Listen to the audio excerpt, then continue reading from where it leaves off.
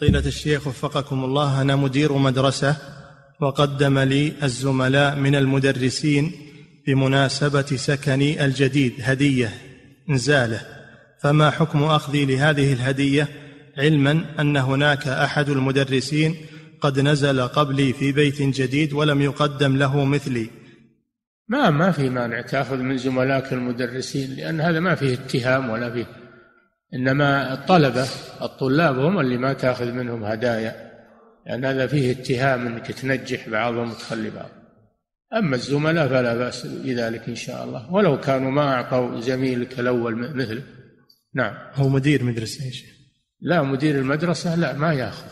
مدير المدرسة ما يأخذ من من المدرسين لأنه مسؤول عنهم.